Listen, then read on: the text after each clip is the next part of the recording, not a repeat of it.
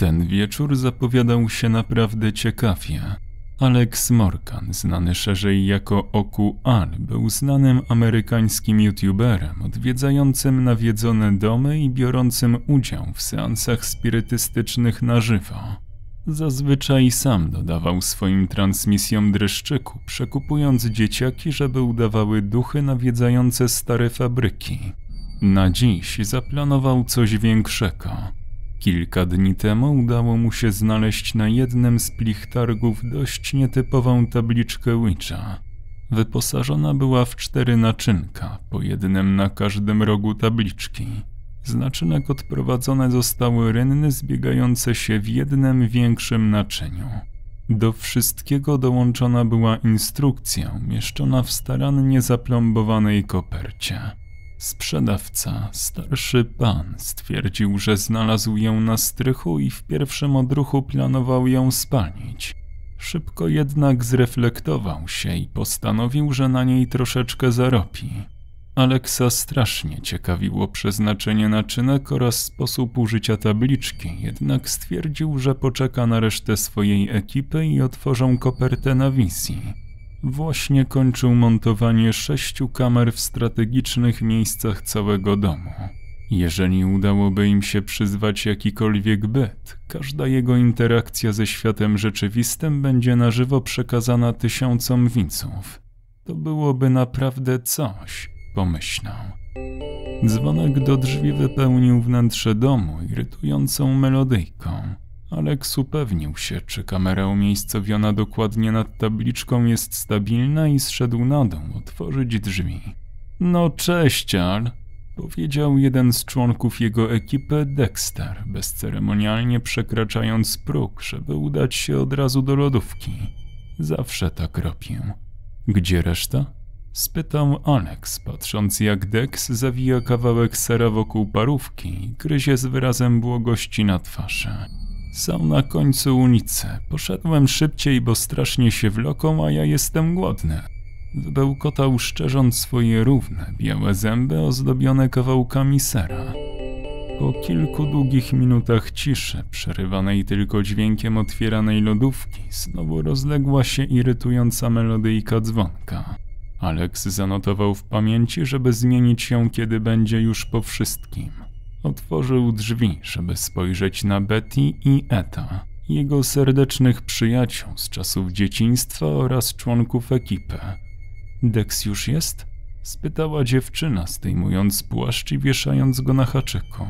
Pędził jakby zaraz miał mieć zapaść. Jest, jest, odpowiedział Alex, wskazując kciukiem na ścianę za sobą. Opróżnia mi lodówkę. Czyli wszystko w normie. Zaśmiał się Ed. Wszystko gotowe? Przepraszam, że jesteśmy tak późno i nie mogliśmy ci pomóc. Straszne korki. W porządku. Alex uśmiechnął się. Tabliczka stoi, kamery rozstawione, dwie przy tabliczce i po jednej w korytarzu, kuchni, łazience i przedpokoju. Powinno wystarczyć. To co, na górę? Tak, chodźmy, powiedziała Betty. Dex, zostaw żarcie i ruszaj dupę na górę. Zaraz zaczynamy. Pokój, w którym mieli prowadzić seans, wyglądał jak żywcem wyjęty z filmów Grosse. Zasłonięte okna, świece oraz okrągły stół z okultystycznym narzędziem w centrum pomieszczenia. Alex nakazał przyjaciołom zająć miejsce, a sam udał się do laptopa przygotowanego do rozpoczęcia transmisji. Zostało kilka minut. Jeszcze raz sprawdził, czy wszystko działa. Licznik pokazywał kilka tysięcy odwiedzających. Czuł, że dziś zarobią konkretne pieniądze z napiwków i reklam. Gotowi? Jedziemy z koksem. Witajcie poszukiwacze życia po życiu, ciekawscy jak i wy, kochani sceptycy i hejterze. Alex zwrócił się bezpośrednio do jednej z kamer. Ja jestem Oku Al, a to kolejno Lilith, Amon oraz Lucky Bob. Dzisiaj mamy dla was coś wyjątkowego. Jak zapewne widzicie, na stoliku stoi tabliczka Witcha, jednak nie taka zwyczajna. Znalazłem ją na jednym z pchlich targów i zakupiłem wiedziony nad naturalną wręcz ciekawością. Poprzedni właściciel nie potrafił powiedzieć o niej nic konkretnego, i w niezastąpionym internecie nie znalazłem o niej ani słowa. Jak widzicie, posiada cztery naczynka połączone rynienkami w jedno. Dołączona jest zapieczętowana instrukcja, której nie ruszaliśmy, więc pierwszy raz przeczytamy ją przy was. Do dzieła. Alex zasiadł przy stoliku i podał kopertę Betty. Masz, Lilith, ty ładnie czytasz. Dziewczyna odebrała kopertę i z namaszczeniem otworzyła ją, wyciągając ze środka dwie stare kartki, które położyła w polu widzenia kamerę. Jeżeli się nie mylę, powiedziała, mamy tutaj dwie wersje instrukcji. Jedna jest zapisana jakimś dziwnym alfabetem, którego nie znam, druga to zapewne tłumaczenie na angielski. Widzę, że część tłumaczenia jest oderwana. Dobrze więc. Niniejsza tablica jest więzieniem potężnego Barbatosa, pana przeszłości, teraźniejszości oraz przyszłości. Służy przywołującemu do znajdywania odpowiedzi na dręczącego pytania. Należy używać jej z rozsądkiem, gdyż Barbatos jest podstępnym demonem, intelektem przewyższającym każdego śmiertelnika. Do przywołania rezydenta tablicy potrzebnych jest czterech magów płacących krwią za każde pytanie. Odrobinę krwi należy wlać do naczyń przydzielonych do każdego z przywołujących. Następnie należy zadać pytanie, na które chce uzyskać się odpowiedź i położyć ręce na wskaźniku, a odpowiedź zostanie udzielona. Nie należy jednak, reszta jest urwana, spytał Dexter, a dziewczyna potwierdziła skinieniem głowy. Zaraz, zaraz, zastanowił się Ed. Czyli mamy się ciąć i zadawać pytania? Na to wygląda. Czekajcie, mam tu gdzieś scyzorek powiedział Alex, otwierając jedną z szuflad stojącego nieopodal biurka. Scyzorykiem okazał się być sporych rozmiarów nóż bojowy. Close enough. Zaśmiał się Dexter, patrząc na typowe narzędzie do czynienia krzywdy bliźnim, spoczywające teraz na stole przy tabliczce. No to co, może ja pierwsza? Powiedział Ed, łapiąc za nóż bez czekania na odpowiedź. Potem polecimy według ruchu wskazówek zegara. Lucky Bu, Pokuan, Lilith i znowu ja. Brzmi dobrze, do dzieła. Nie bez wahania Ed zrobił małe nacięcie na swoim palcu. Sycząc z bólu pozwolił kilku kroplom spaść do swojego naczynka, te natychmiast spłynęły rynną do głównego zbiornika.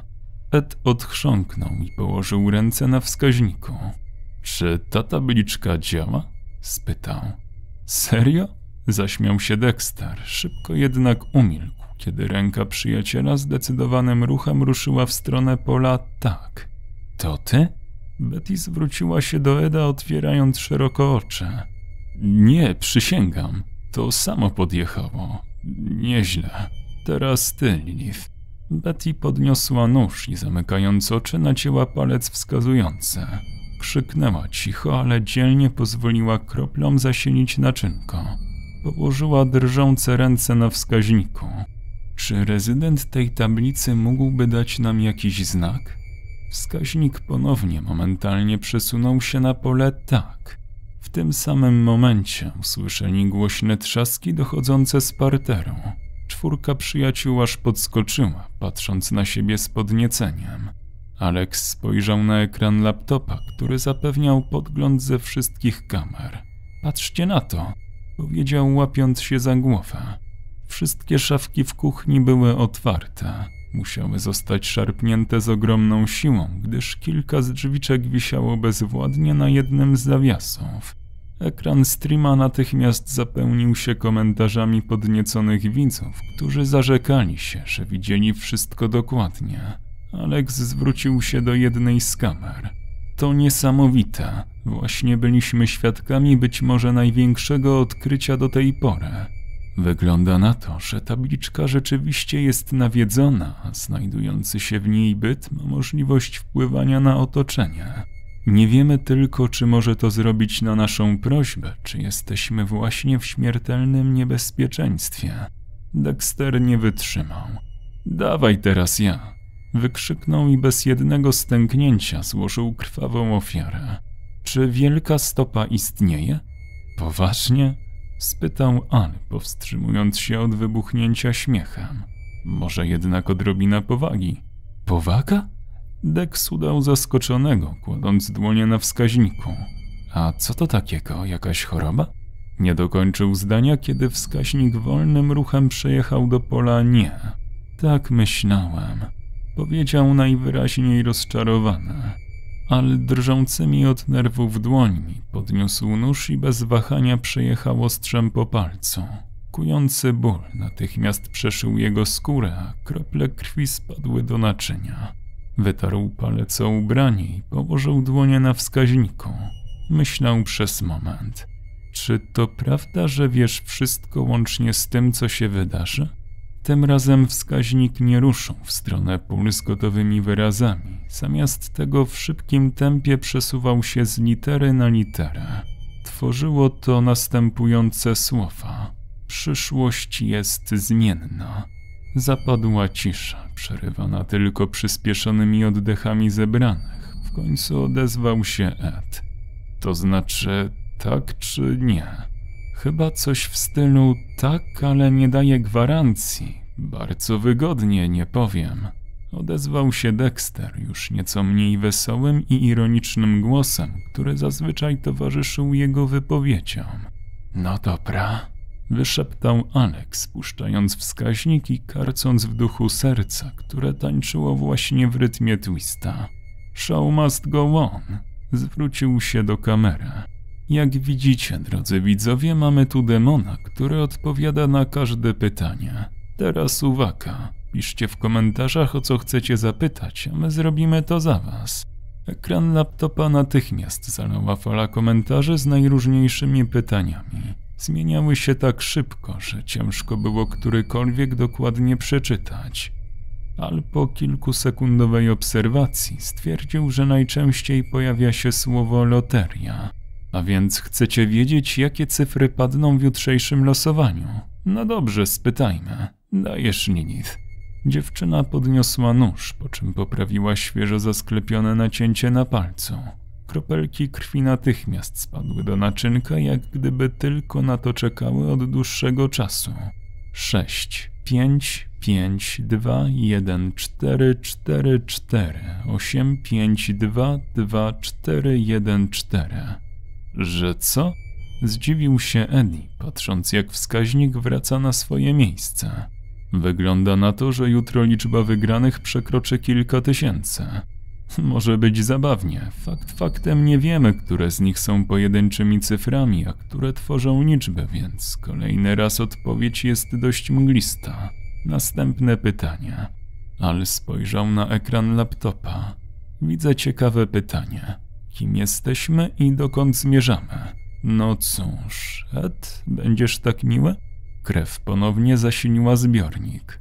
Utworzyły się słowa do niebytu. Cóż, wygląda na to, że nie ma nieba i wszyscy umrzemy. Pozytywnie, nie ma co. Powiedział Alex. Ponownie spojrzał na ekran laptopa, kiedy poczuł kopnięcie pod stołem. Rozejrzał się po przyjaciołach i tylko Betty patrzyła na niego wymownie. Miał szczerą ochotę zignorować jej zaczepki, ale wiedział, że mogłoby to spowodować kobiecą furię, tysiąckroć straszniejszą niż demon w tablicy. Słuchajcie, kochani, zrobimy małą przerwę i wracamy za kilka minut. Miejmy nadzieję, że demon nam nie ucieknie. Zostańcie z nami. YouTuber nacisnął przycisk stopu i spojrzał na dziewczynę, która poza wizją nie kryła już przerażenia. Spojrzał na nią pytająco. Alex, skończmy to. Nie widzisz, że to się dzieje naprawdę? To już nie są nawiedzone domy i płacenie żulom za wydawanie dziwnych dźwięków podczas transmisji. To jest coś innego, czym nie powinniśmy się bawić. Racja, to już nie jest udawanie, pomyślał Alex. Jego usta jednak powiedziały coś innego, wiedzione czymś w rodzaju zastrzyku adrenaliny. Nie, nie gadaj głupot, to tylko nasza podświadomość. Nie bądź taka delikatna. Dobrze wiesz, że kiedy skończymy, to stracimy widzów. Tym zarabiamy na życie. Naprawdę chcesz iść na kasę w sklepie? Nie sądzę.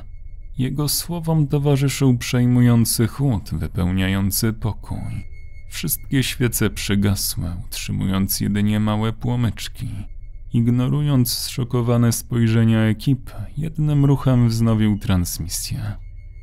Witajcie po przerwie. Będziemy kontynuować demoniczne rozmówki, więc oglądajcie i rzucajcie pomysłami na pytania. Teraz Tydex. No dobra, mam własne pytanie, powiedział przeciągając palcem po ostrzu. Co dzieje się z nami po śmierci? Ło, zaśmiał się Ed. Zależy od życia. Czyli dobrzy do nieba, źni do piekła, ateiści w niebet. Można było się tego spodziewać. Stwierdził Al, szybkim ruchem zabierając koledze nóż i raniąc jeden z palców. Zamiast bólu poczuł ulgę, że w końcu może to zrobić. Z dziwną satysfakcją patrzył na spadające krople krwi. Czy chciałbyś czegoś od nas? Krew. Czwórka przyjaciół patrzyła na tablicę, każde z innym wyrazem twarzy. Betty wyglądała nadzwyczajnie przerażoną, Etna szczerze zaciekawionego. Dexter przybrał oblicze pokerzyste. Z kolei Al był najzwyczajniej w świecie zafascynowany całą sytuacją. Od zawsze pragnął doświadczyć prawdziwych zjawisk paranormalnych. Od zawsze wiedział, że na świecie musi istnieć coś więcej niż tylko biologia. Od zawsze czuł, że jego przeznaczeniem są rzeczy większe niż tylko szara egzystencja i przeciętność. Dotarło do niego to, co powinno dotrzeć już dawno. Przez kilka ostatnich lat symulował takie zjawiska właśnie z tęsknoty za nimi. Zamiast ich szukać, tworzył w swoim życiu substytutę. Nigdy więcej nie popełni tego błędu. On pragnie krwi. Musimy napełnić zbiornik i zobaczyć, co się stanie. Powiedział, łapiąc ponownie za nóż i całkowicie ignorując ustaloną kolejkę. Nie zważając na protesty przyjaciół, ciął szeroko przez całą dłoń. Al! wykrzyknęła Betty, doskakując do niego i próbując obejrzeć zranioną dłoń.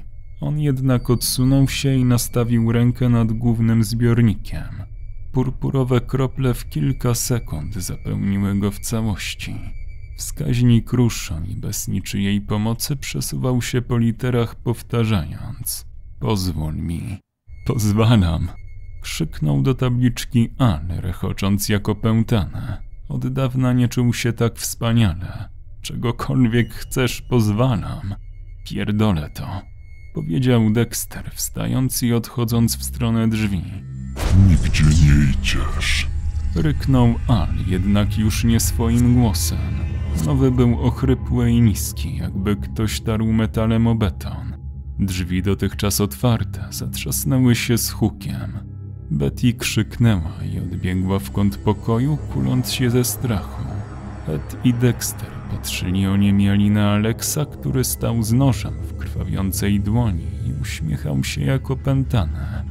Słyszę coś, powiedział już swoim głosem. Przycisnął obie pięści do głowy, kiedy przeszył ją ostry ból. Wyraźnie słyszał czyjś szept pochodzący wprost z jego czaszki, słyszalny tylko dla niego.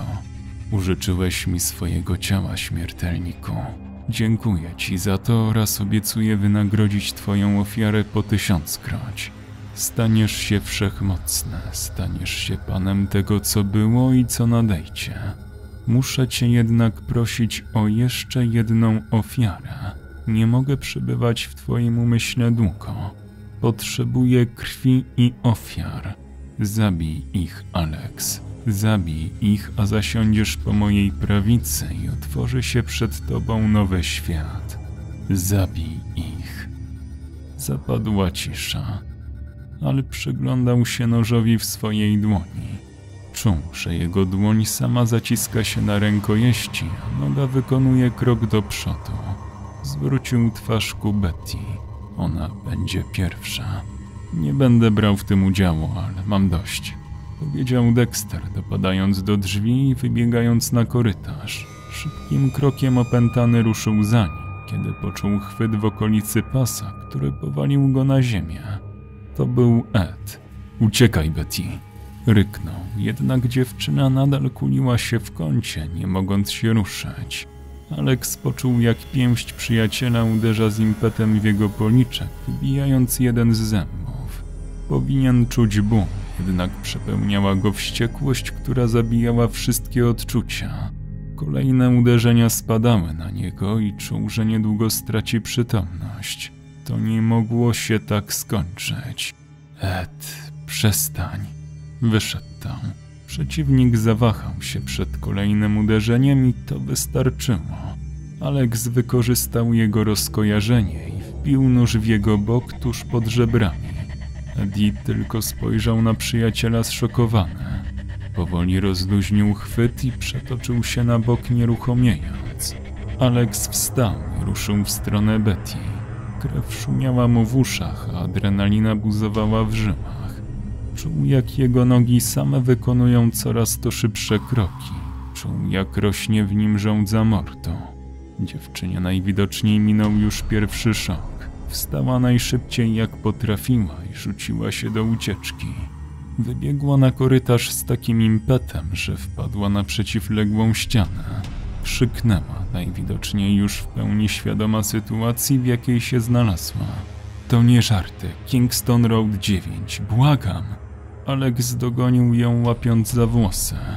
Ofiara szarpnęła się, zostawiając go z kosmykiem w dłoni. Na jej głowie został tylko łysy, pokryty krwią placek. Zbiegła na dół, na przemian krzycząc i łkając. Napastnik wypuścił kosmek z rąk i ruszył w dalszą pogoń. Od wolności dzielił ją już tylko korytarz na parterze. Drzwi wejściowe były otwarte na oścież, zapewne zostawił je wychodzący w pośpiechu Dexter. Betty znajdowała się już przy samych drzwiach, kiedy te zatrzasnęły się z impetem, nieomal nie rozłupując jej czaszki. Ale dopadł ją i z ogromną siłą uderzył jej głową o ścianę. Dziewczyna jęknęła tylko i upadła na ziemię. Złapał ją pod ręce i z niemałym wysiłkiem pociągnął za sobą. Nie mógł tego zrobić tutaj. Jej krew musi splamić pokój z tablicą.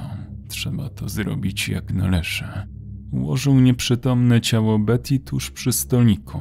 Spojrzał na kamerę i wyszczerzył zęby. To, co tu zaraz zobaczycie, powiedział, będzie największym dowodem na istnienie czegoś więcej niż to, co widzimy. Ja będę waszym dowodem. Stanę się tym, od czego budzą się wasze dzieci w środku nocy. Będę potworem z poduszka. Będę cieniem, który przemyka po zgaszeniu świateł. Będę. Betty, odzyskawszy przytomność, ponownie rzuciła się do ucieczki, tym razem znacznie wolniej, zataczając się po niedawnym ciosie w głowę. Dopadł ją przy drzwiach, dźgając na oślep. Raz po razie czuł, jak ostrze zatapia się w jej plecach. Złapał ją za bark i przewrócił na plecy. Zauważył łzy w kącikach jej oczu. Zrozumiała, że umrze z ręki przyjaciela i nie może już nic z tym zrobić. Alex zawahał się na ułamek sekundy, jednak szept przetaczający się w jego umyśle zapewnił go, że robi słusznie. Szybkim ruchem poderżnął dziewczynie gardło. Wydała z siebie okropny gulkot, po czym zgasło w niej życie. Popierdoliło cię? Ed stał z trudem, oparty na stole z rozstawioną tablicą. Spod ręki przyciśniętej do boku sączyła się krew. Po chwili stracił jednak równowagę i przewrócił się, pociągając za sobą stolik. Ale co... coś ty zrobił? Alex poczuł, jak jego dłoń ponownie zaciska się na noszu. Krew buzowała w nim tak mocno, że nie usłyszał syren wozów policyjnych podjeżdżających pod jego dom. Jego noga zrobiła krok w stronę przyjaciela. Nie było już odwrotu, nie było miejsca na wahanie. Zrobi to i stanie się jednością ze swoim nowym panem. Czekało go życie wielokrotnie lepsze niż to, które wiódł do tej pory. Był tego pewien. Klęknął nad Edem i wzniósł nóż w powietrze. Stój, odłóż nóż. Dwójka policjantów stała w drzwiach, celując prosto w niego. Zignorował to. Jego pan nie pozwoli mu tak umrzeć. Usłyszał strzał. Poczuł, jak coś odpycha mu rękę i sprawia, że wypuścił narzędzie mortu. Odwrócił głowę, żeby spojrzeć na napastników. Zobaczył tylko dwa krótkie błyski na końcu luf. Nie czuł bólu. Czuł tylko zawód, że nie udało mu się skończyć. Jeden z pocisków trafił go w bok, drugi w ramię. Upadł. W tym samym momencie wszystko zniknęło. Zniknęła pewność, adrenalina i spokój. Wrócił przeszywający ból w miejscach postrzału. Czuł, jak krew wycieka z niego wraz z życiem. Spojrzał na zmasakrowane ciało Betty, a oczy wypełniły mu łzy. Z trudem odwrócił głowę w kierunku Eda. Jego przyjaciel miał zamknięte oczy, a krew ciekła mu z ust. Co ja najlepszego zrobiłem? Pomyślał, zanim ogarnęła go ciemność. Autor opowiadania Great Turtle czytał Kwadrates. Osoby wspierające powstawanie nowych treści to Kalusia, Syrenka Ladacznica, Brutal Drop, Sebastian Król, Gregorikos, Lucky Gusi, Mateusz Z, Wiktor Walczak, Bartek Koziara, Alastor, Wojti 262, Milky Rainbow, Magdalena H, Near Death, Tomasz Kowalewski, Robert Siwek, Krzysztof Kozak-Ślęsak, Stary Trześwe, Invertain, Kamil Olek oraz I Will Make You Tea. Do usłyszenia.